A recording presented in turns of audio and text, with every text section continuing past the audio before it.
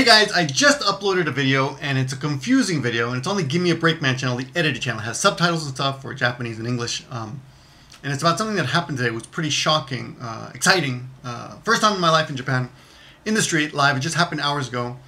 And as soon as it happened, right after it happened, I, um, I went to the Mac store and I made a phone call. I talked to, uh, I was talking to Scott. Um, I'm not sure what it was about. Maybe it was, it was about something else. Something else. But anyway, I mentioned it to him.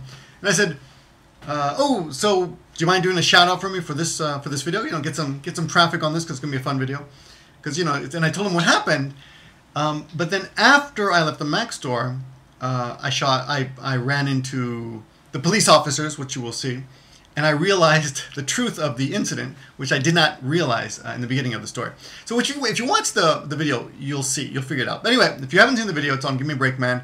It's um, first time experience for me in Japan go check it out. And apologies to Scott for giving you that false information. It wasn't on purpose. I, I honestly thought that's what had happened um, at the beginning. So his video will, you know, will will be false because you know he's he's he's it's coming off of me, and I was under under the wrong impression at the time. Anyway, go check out the video and give me a break, man. Thanks for watching.